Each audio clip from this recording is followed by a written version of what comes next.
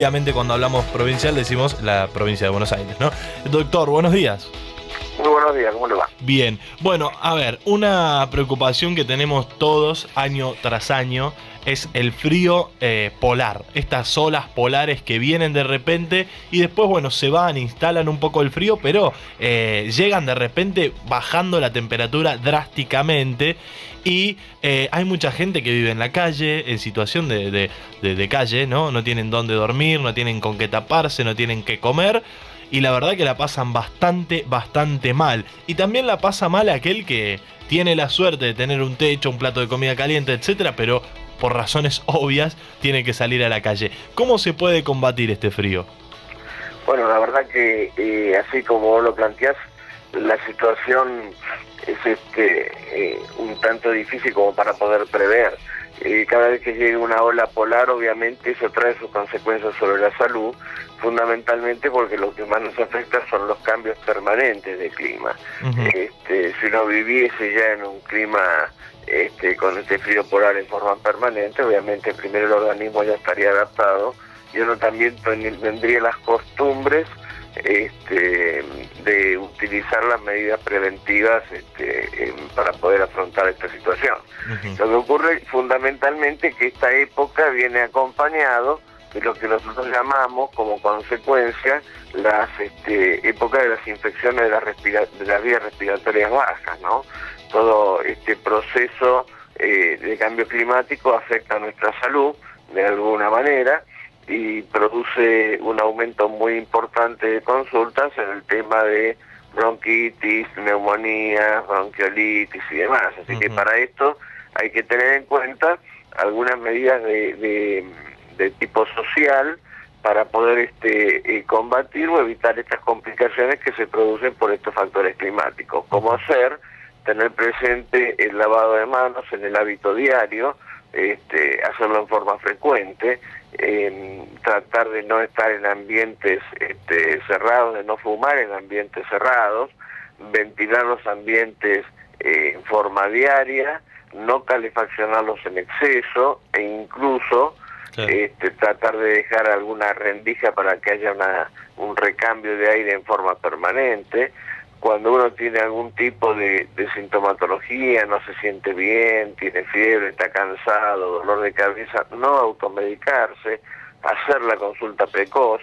Para eso están en el caso de la provincia de Buenos Aires los hospitales este, públicos, la red ya ha sido puesta en alerta por nuestro ministro este, Alejandro Colia eh, y están provistas de medicación para este, eh, entregarle en forma este, gratuita a todo aquel que lo necesite.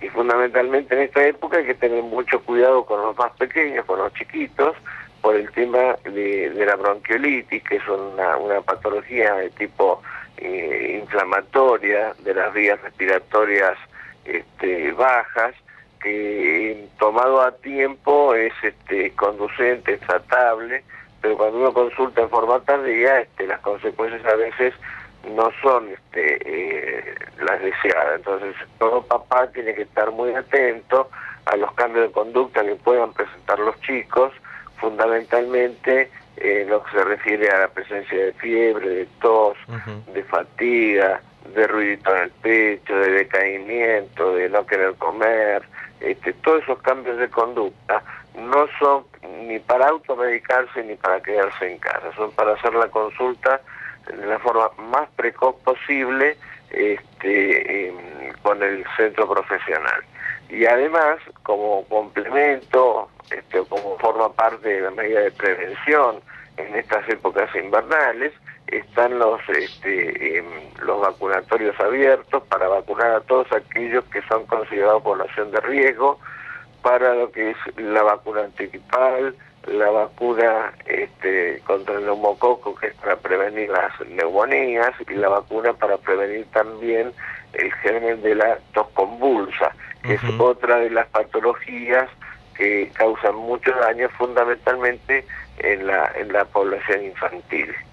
Muy bien, primer punto entonces, tener eh, mucha atención, son días para prestar demasiada atención. Doctor, buenos días, Luis. Eh, Florencia la saluda. Buenos días, Florencia. A ver, usted hablaba de medidas de prevención, ¿no? Por ejemplo, la vacuna antigripal eh, para poblaciones de riesgo. ¿Los jóvenes también tenemos que aplicarla o, no? La vacuna está indicada en los siguientes grupos eh, poblacionales. Además de lo que es el personal de salud, está indicado en los niños de 6 meses a 2 años, en los adultos mayores de 65 años, en todas las embarazadas, eh, no importa el, momento de su embarazo, y hasta seis meses después del parto, en caso de que no haya recibido la vacuna durante el embarazo, puede vacunarse o debe vacunarse dentro de los seis meses postparto.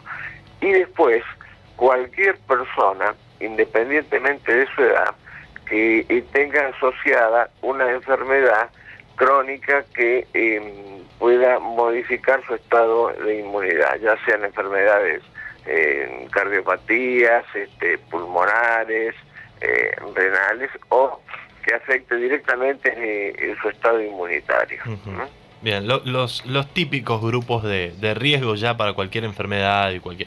Doctor, ¿cómo identificar un momento, un lugar, perdón, un espacio eh, donde está faltando el aire a la raíz del calor, de la calefacción, del monóxido de carbono, de lo que sea, porque también otra de las complicaciones que trae el frío es justamente muertes por lo contrario, porque uno se mete en un ambiente de demasiado calor, como usted decía al principio, y se empieza a olvidar de otras cuestiones, como circulación del aire, como un lugar para el escape del monóxido de carbono, eh, etcétera, etcétera, etcétera. ¿Cómo se detectan estos síntomas? Bueno, el, el problema de detectar este, la presencia de exceso de monóxido de carbono en el ambiente es imposible debido fundamentalmente porque no eh, eh, genera, por ejemplo, olor como podría generar otros otras este, eh, partículas u, otras, u otros elementos. Entonces uno tiene que tener previsto que los ambientes, como te decía antes, no deben ser excesivamente calefaccionados, eh, se debe dejar siempre alguna rendija en alguna ventana, algo abierto para que haya un recambio de circulación de aire permanente.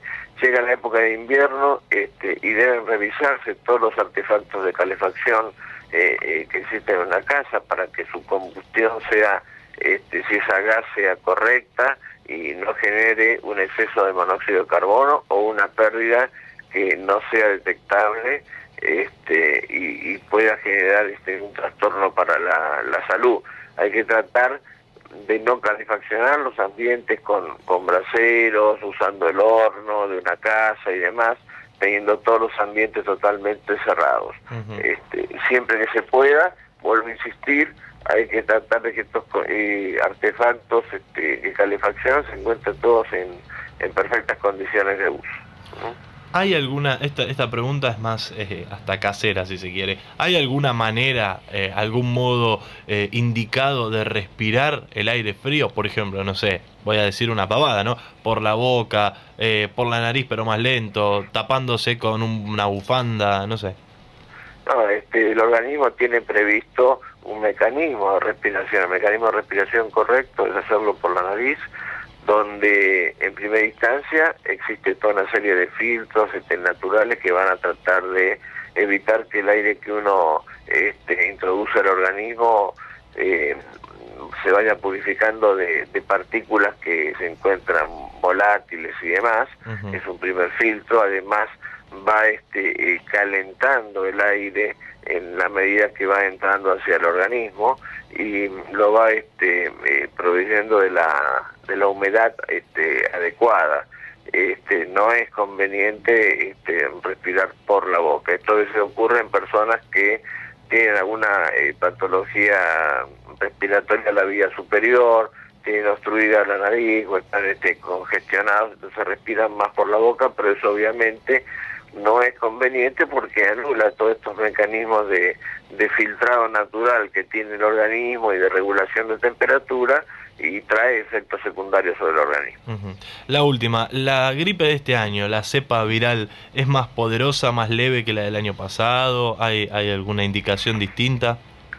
Sí, todos los años este, hay una actualización de, de la vacuna porque se tiene en cuenta los virus que se encuentran circulando este, tanto en el hemisferio este, en norte como, como en Europa, que nos sirven de base.